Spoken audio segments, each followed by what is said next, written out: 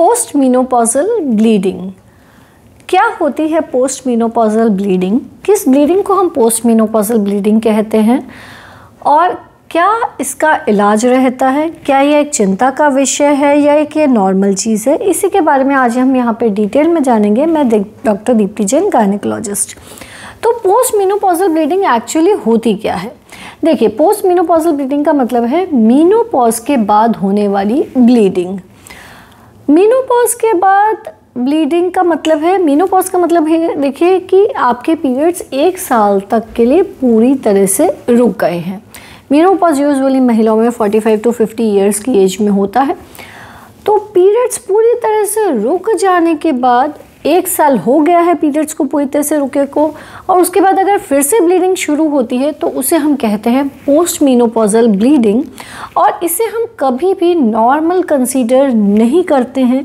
अगर आपको post menopausal bleeding हो रही है, यानी कि आपके मीनोपॉज को मीनोपॉज आपको हो चुका है, आपके पीरियड्स बंद हुए को पूरा एक साल हो चुका है, और फिर से अगर आपको ब्लीडिंग हो रही है तो डेफिनेटली हमें इसे इवेलुएट करने की ज़रूरत है, यानी कि हमें ये जानना ज़रूरी है कि ऐसा क्यों हो रहा है और उसी अकॉर्डिंगली ट्रीटमेंट रहता है। तो होती क्यों है ये पोस्ट मिनोपॉजल ब्लीडिंग इसके कई कारण होते हैं। इसका जो सबसे कॉमनेस्ट कारण होता है, वह होता है वेजाइनल एट्रोफी या फिर एंडोमेट्रियल एट्रोफी तो क्या होता है, देखिए, जो वेजाइना है, क्योंकि मीनोपॉज जब हो जाता है तो हार्मोन्स का लेवल नीचे चला जाता है लो हो जाता है। तो हार्मोन्स का लेवल लो होने के कारण जो वेजाइना होती है, वो काफ़ी थिंड हो जाती है, पतली हो जाती है ड्राई हो जाती है एट्रोफिक हो जाती है। जिसके कारण कि वो बहुत फ्रिजाइल हो जाती है और बहुत जल्दी ब्लीड कर सकती है। तो कभी हल्का फुल्का भी लग जाए या रिलेशनशिप के बाद में भी वेजाइनल एट्रोफी के केसेस में ब्लीडिंग हो सकती है।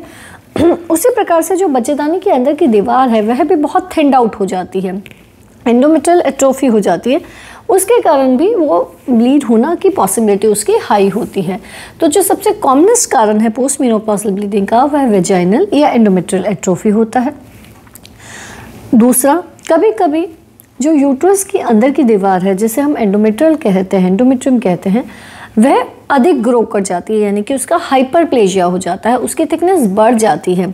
एक बार आपका मीनोपॉज हो गया है तो बच्चेदानी की जो अंदर की दीवार है, उसकी थिकनेस फोर मिलीमीटर तक हम नॉर्मल मानते हैं।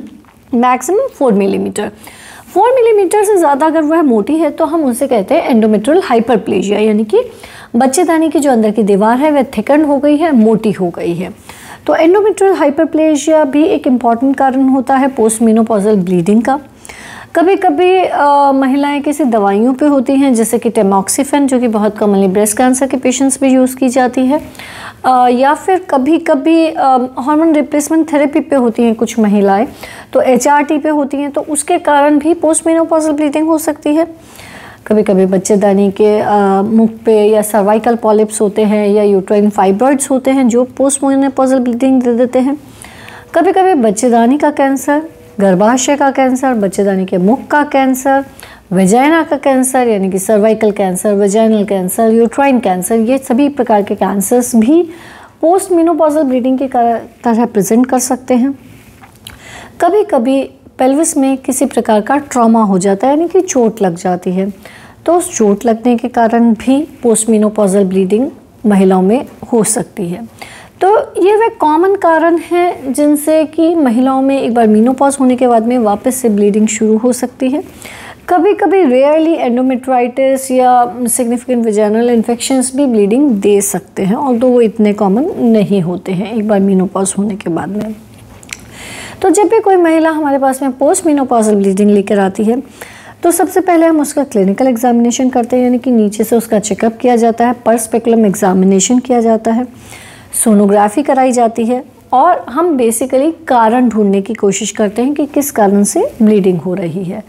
जैसा कि मैंने सबसे पहले बताया आपको कि इसका जो सबसे कॉमनेस्ट कारण है वो वेजाइनल एट्रोफी है, यानी कि जो वेजाइना की दीवार है वो बहुत पतली हो गई है। अगर वेजाइनल ब्लीडिंग वेजाइनल एट्रोफी के कारण हो रही है तो हम ईस्ट्रोजन के ऑइंटमेंट्स देते हैं। यूजुअली लोकली लगाने वाले ईस्ट्रोजन के ऑइंटमेंट से वेजाइनल एट्रोफी के केसेस में अच्छा खासा रिलीफ मिल जाता है और ये ब्लीडिंग रुक जाती है। परंतु अगर यह ब्लीडिंग एंडोमेट्रियल हाइपरप्लेजिया के कारण हो रही है, यानी कि बच्चेदानी की दीवार थिकन हो गई है, उसके कारण हो गई है तो फिर हमें डीएनसी करने की ज़रूरत रहती है, जिसके अंदर कि हम मरीज़ को बेहोश करके एंडोमेट्रियल बायोप्सी लेते हैं, यानी कि अंदर से जाँच का लेते हैं एंडोमेट्रियम की बायोप्सी ली जाती है, जिसे हम लैब में टेस्टिंग के लिए भेजते हैं।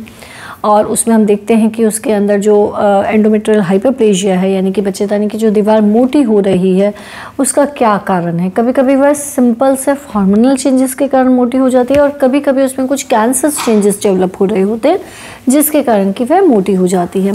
तो डिपेंडिंग अपॉन द कॉज यानी कि किस कारण से वह दीवार मोटी हो रही है ट्रीटमेंट उसी के अकॉर्डिंग रहता है। अगर बच्चेदानी की दीवार मोटी सिर्फ़ हार्मोनल चेंजेस के कारण हो रही है तो हमें सर्जरी करने की ज़रूरत नहीं होती आगे। हम यूजुअली प्रोजेस्ट्रॉन हार्मोन सपोर्ट देते हैं। मिरना लगाया जा सकता है। यानी कि मेनली कंजर्वेटिव मैनेजमेंट रहता है। यानी कि दवाइयों से यूजुअली मरीज़ ठीक रह हो जाता है। लेकिन हाँ हमें मरीज़ को फॉलोअप में रखने की ज़रूरत रहती है। लेकिन अगर हमारी एंडोमेट्रियल बायोप्सी की रिपोर्ट में कुछ कैंसरस चेंजेस आते हैं या फिर ए टिपिकल चेंजेस आते हैं तो यूजुअली सर्जिकल ट्रीटमेंट रहता है सर्जिकल मैनेजमेंट रहता है। और जैसा कि मैंने और अन्य कारण बताया आपको कि अगर कोई ट्रॉमा है तो उसका अकॉर्डिंगली ट्रीटमेंट रहेगा। अगर सपोजिटली कोई इन्फेक्शन है तो हमको इन्फेक्शन को ट्रीट करने के लिए एंटीबायोटिक्स देने रहेंगे। तो बेसिकली हम क्लिनिकल एग्जामिनेशन और सोनोग्राफी करके कारण ढूंढते हैं और कारण के अकॉर्डिंग ही उसका ट्रीटमेंट रहता है। लेकिन पोस्ट मीनोपॉजल ब्लीडिंग को हम नॉर्मल चीज़ नहीं कंसीडर कर सकते। एक बार पीरियड चला गया है बारह महीने हो चुके हैं पीरियड गए को तो वापस से ब्लीडिंग महिला में कभी भी नॉर्मल नहीं होती। अगर आपको ऐसी समस्या जूझ, से जूझना पड़ रहा है, यानी कि आपके पीरियड्स एक बार चले गए हैं और साल भर हो गया और उसके बावजूद भी फिर से आपको ब्लीडिंग हो रही है तो डेफिनेटली आपको अपने गायनिकोलॉजिस्ट से कंसल्ट करने की ज़रूरत है। इस रिगार्डिंग अगर आपको फिर भी कोई कन्फ्यूज़न हो तो आप हमसे पूछ सकते हैं। ऑनलाइन कंसल्टेशन की फैसिलिटी अवेलेबल है। चैनल को सब्सक्राइब कीजिए। धन्यवाद।